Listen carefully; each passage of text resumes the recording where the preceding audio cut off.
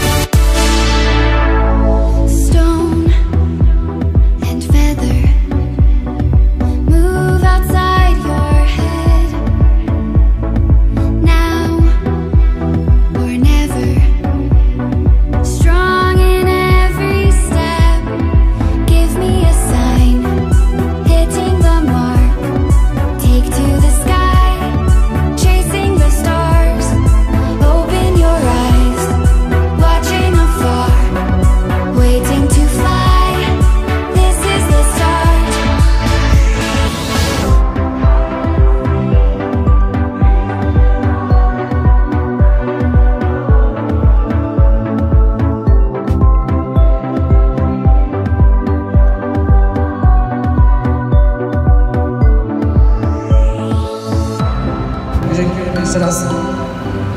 Mamy nadzieję, że jakieś rozpoczęcie sezonu zrobimy jeszcze grubiej.